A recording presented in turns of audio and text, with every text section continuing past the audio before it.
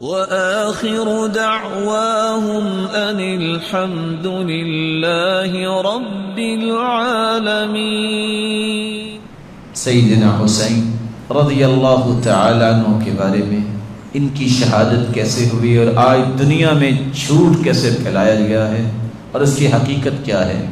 سیدنا حسین رضی اللہ تعالیٰ عنہ حج سے فارغ ہوئے، عراقیوں نے ان کو خط لکھے اور اتنے خط لکھے امام ابن تیمیہ اپنے فتابے میں اور اسی طرح منہاج السنہ میں بڑی لمبی بحث کی ہے۔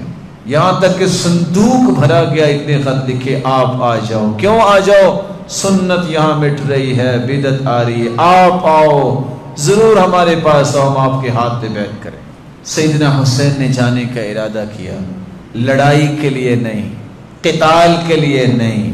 اگر یہ کفر اسلام کی جنگ ہوتی تو کوئی صحابے پیچھے رہتا؟ بولے؟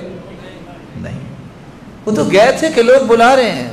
لیکن یہ عراقی اور خوفی ظالم غدار نے کے لیے انہوں نے شہید کر دیا۔ جب جانے لگے عبداللہ بن عمر رضی اللہ تعالیٰ نے کہا، آپ نہ جاؤ۔ آپ کے علم میں ہے آپ کے والد کبھی ان ظالموں نے شہید کیا تھا۔ باپ کو شہید کیا تھا، یہ آپ کے ساتھ بھی دھوکہ کریں۔ نتیجہ کیا نکلا؟ کہا، وہ بلا رہے ہیں، جانا ہے۔ اب سیدنا حسین کی شخصیت کیسی تھی؟ کون ان کے سامنے اس طرح دم مارتا فرزدق شاید کہتا ہے میرا جی چاہتے میں سواری کے سامنے لیٹ جاؤں، اگر آپ رک جائیں، کیونکہ مجھے پتا ہے وہ غدار لوگ ہیں، آپ ان کے پاس نہ جائیں۔ مسلم بن عقیل، جو سیدنا حسین رضی اللہ تعالیٰ عنہ کے بھائی تھے، ان کو پہلے بھجوایا تھا۔ انہوں نے کہا تھا کہ آپ آ جائیں، لوگ بہت پسند کرتے ہیں، لیکن جو ہی روانہ ہو گئے، راستے میں ہی اس بات کی خبر ملی۔ کہ مسلم بن عقیل کو شہید کر دیا گیا ہے، ہانی بن عروہ کو شہید کر دیا گیا ہے۔ اور پیغام دینے والے نے پیغام دیا کہ مسلم بن عقیل بھائی کا پیغام ہے کہ اب یہاں نہ آنا، یہ ظالم ہیں اور یہ آپ کو بھی نقصان دیں گے۔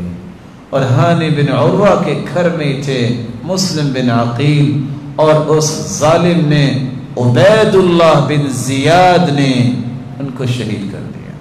جب یہ پیغام پہنچا تو سیدنا حسین رضی اللہ تعالی عنہ یہ جنت کے شہزادے وہاں یہ فیصلہ کرنے لگے کہ اب کیا کیا جائے۔ بھائی نے بھی پیغام دے دیا اور حقیقت بھی ہے وہ شہید بھی کر دیے گئے۔ ابھی اس بارے میں سوچو بیچار تھی کہ عبید اللہ بن زیاد ظالم کی طرف سے شمر نامی انسان جو ہے، اس نے لشکر لیا اور ان کا گھیرا تنگ کر دیا۔ اور چاہتا کیا تھا کہ میں غلام بنا کے آپ کو لے جانا چاہتا ہوں وہاں۔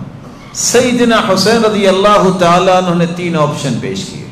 کہا، پہلی بات تو یہ ہے، میں واپس جانا چاہتا ہوں اجاز ارد حجاز۔ نہیں تو میں کسی جگہ بھی مسلمان جو جہاد کر رہے ہیں، میں ان کے سب میں شامل ہونا چاہتا ہوں۔ نہیں تو میں یزید کے پاس جاؤں گا اور اس کے ہاتھ پہ بیت کروں گا۔ سب سے بڑا مسئلہ یہ تھا کہ اگر یہ یزید کے پاس چلے گئے تو عبید اللہ بن زیاد اس مجرم کی گردن بھی اڑے گی اور سب کی گردن اڑے گی۔ لیکن وہاں ہی کوئی لڑائی کا ان کا ارادہ نہیں تھا۔ ان ظالموں نے گھیرا تنگ کیا۔ پھر اپنا دفاع کرتے ہوئے سیدنا حسین رضی اللہ تعالی عنہ شہید کر دیے گئے۔ اور جب یہ بات یزید تک پہنچی تو یزید نے کہا، لعن اللہ ابن جمرہ۔ اللہ لعنت کرے ابن جمرہ عبید اللہ بن زیاد پہ۔ اس نے یہ کیا کر دیا؟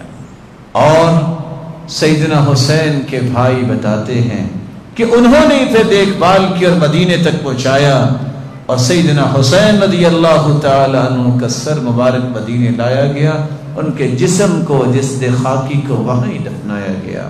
اور جب مدینہ میں سیدنا حسین رضی اللہ تعالی عنہ کے سر کو لایا گیا، اس سر مبارک کو عمر بن سعید اور بنو امیہ کے لوگ جمع تھے۔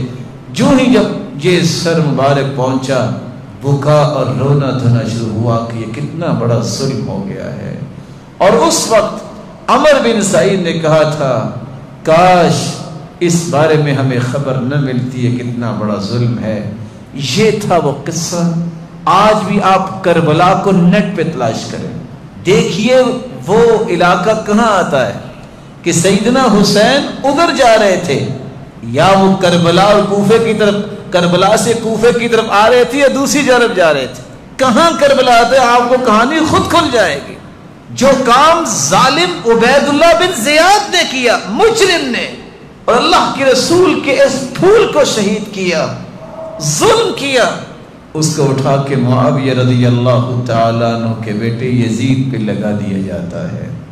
جبکہ حقائق دنیا کے اندر بہت ساری کتابیں ہوں گی کسی کتاب میں آپ کو یہ بات نہیں ملے گی کہ سیدنا حسین رضی اللہ تعالیٰ عنہ کو یزید نے شہید کیا یا کروایا۔